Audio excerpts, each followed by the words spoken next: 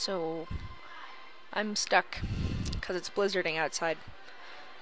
And what better thing to do but talk about Resident Evil 4?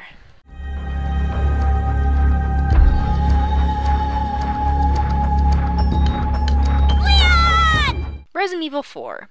Now, this is not a game I'd usually pick up.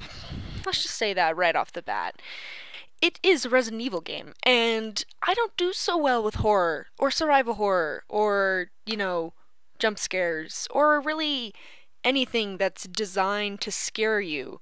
I just don't find the fun in playing that. But I was completely surprised. I was so surprised by how much I loved this game. I've got to say, it's probably my top five. My top five favorite games, that's pretty hard to come into. You know, it's like, it's games that I'm willing to play over and over again. Although I don't want to play it immediately right after finishing it, that's how most games are in my top five. I don't want to play Mass Effect 1 right after I finish Mass Effect 3. I have to have a little break. But I know that I'm going to want to return to it, and that's how I feel about Resident Evil 4, which is weird for me because I've played a lot of games, and a lot of them I'm like, yeah, that was fun. All right, move on, you know, kind of thing. Wow, it's really snowing out there. Kind of took a little bit of coaxing from Savannah to get me to play Resident Evil. You know, she was like, play it, play it, play it, dang it, play, play it, play it. And I was like, okay, fine. And so this is her copy. And I loved this game. Like, if I had to I can't really do reviews. I'm not very good at them because I always feel like I'm really, oh, I love this. Everyone should play.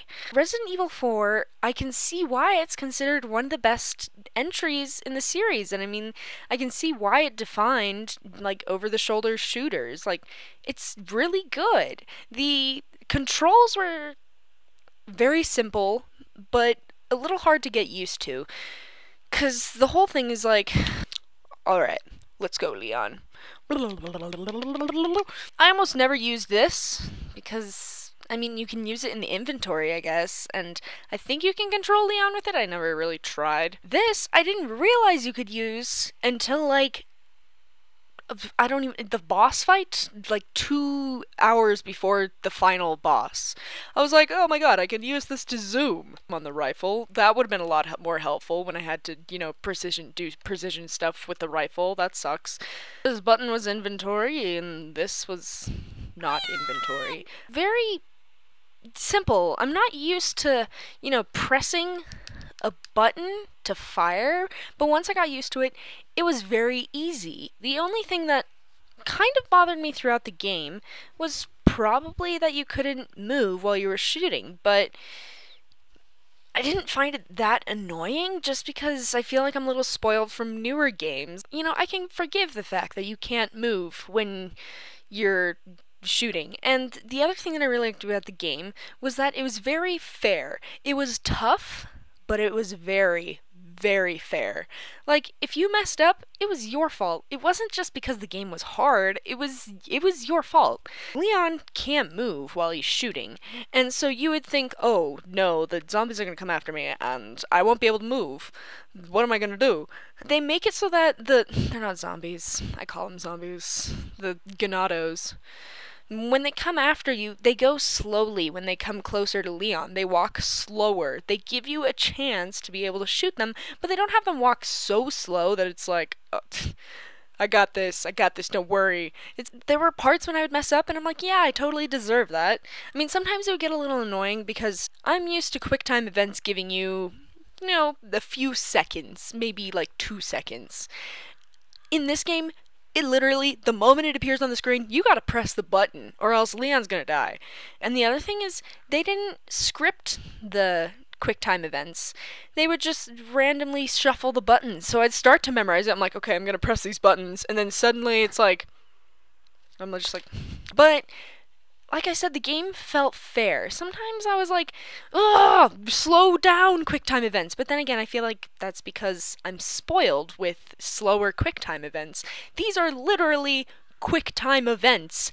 Another thing I'd like to bring up is how pretty this game looks. Like, it's not supposed to be pretty, and pretty is the wrong word, but it's the only one that I can really think of. This game looks fantastic. It's holding up to games like that I play now.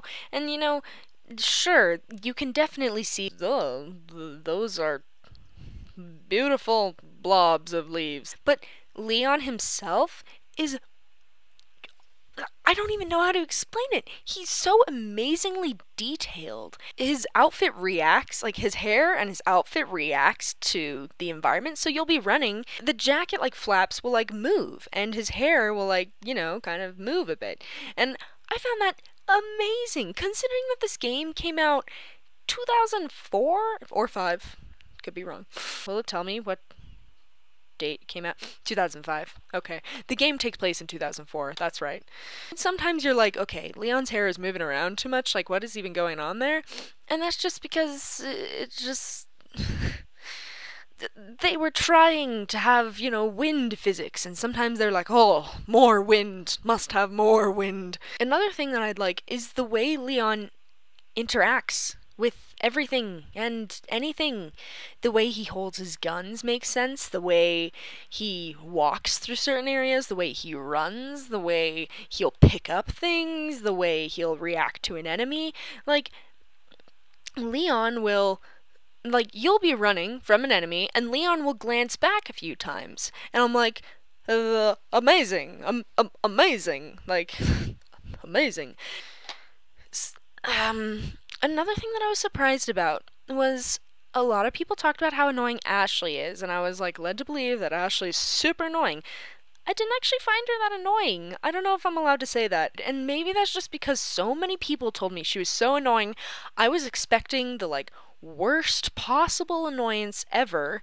She wasn't she wasn't that annoying. The only thing that was slightly annoying to me was that they didn't have a lot of sound clips to use for her. So there were like two different ways that she screamed Leon, and there were like two different ways that she screamed. She did play to the damsel in distress a lot. Like, a lot. She was the, damsel in distress all the time, but that's the point. She's supposed to be the damsel in distress. That's why Leon is sent there. That's he's sent there to rescue her. You are literally in Spain to rescue the princess from the castle.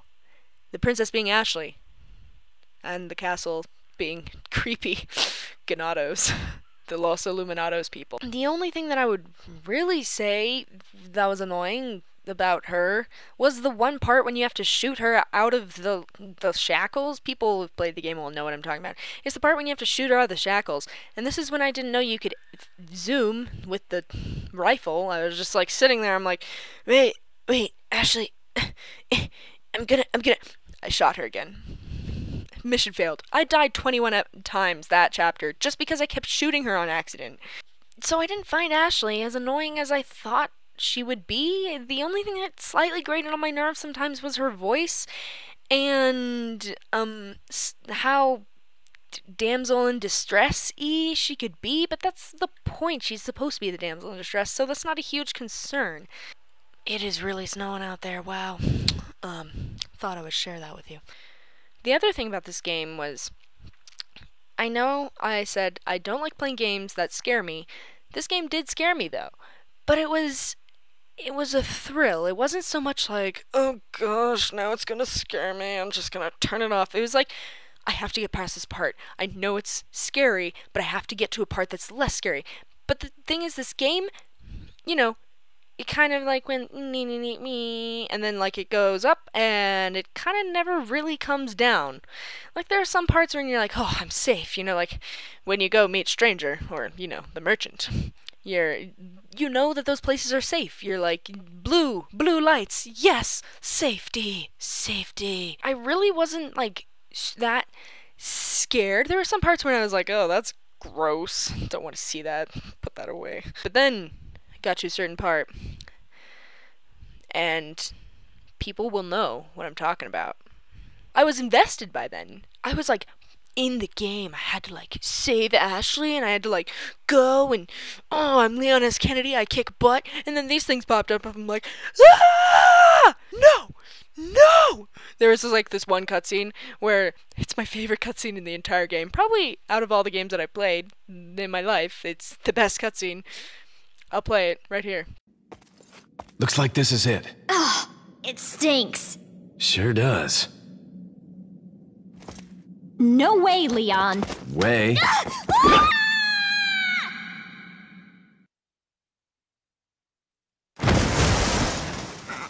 Ah!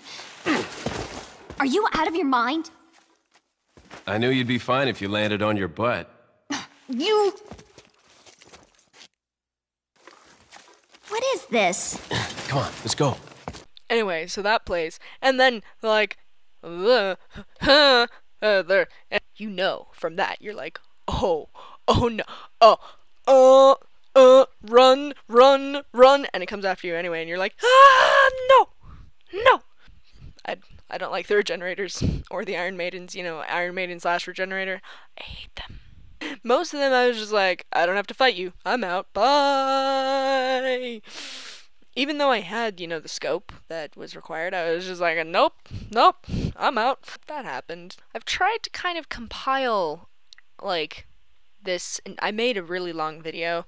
I think it's probably 30 ish minutes long. I've tried to compile the things that, you know, was actually about the game and sort of review, like, I guess hopefully it's alright. Um, if you didn't get anything from that, I would highly suggest playing this game. It is a very good game, and you can feel, you like, you feel like you are Leon.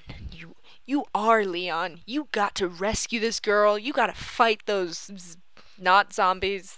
You are you are Leon. You become Leon. I felt like Leon. I started getting protective of Ashley. And I mean, I know that she's annoying, but you know, like I said earlier, she didn't annoy me as much as I thought she would. This game was very well done. This game was surprisingly immersive. I felt I was with Leon the entire time, and you know that was that was that was awesome. Uh, the games rarely do that. So beautiful, so beautiful. I know that a game is really good if I beat it very quickly. I'm just like burning up all my time playing this game. If I'm just like, I gotta play the, I, I, I gotta like go and get the, the princess. No, there's no princess. But you know, like Mass Effect 3, no, Mass Effect 2, I beat in less than a month, which is rare for me. And this game, I beat in eight days. I just loved it. Alright? It was beautiful. And if you haven't played it, what is your problem? It's like on every single console now. So, to wrap this up, if you haven't played Resident Evil 4, I would highly suggest playing it, even if you're not a huge horror fan, if you're not a huge survival horror fan, if you're not really over the shoulder kind of person, give the game a chance.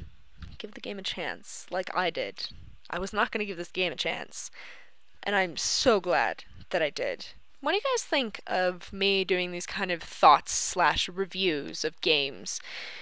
Yay, nay, eh. That's kind of what I want to take my channel towards now that I'm not doing like just gaming videos. I wouldn't mind doing, you know, like gaming thoughts. I I have some like actual like reviews in process. Um but I just don't know if I'm really set out to be a reviewer because I tend to go on tangents and I bring a lot of my thoughts into it. So, yeah, let me know what you thought of this and if you have played Resident Evil 4, what do you think of it? And um do you agree? Do you disagree? Go, Leon, go. No, Leon. Use the knife. Use the knife.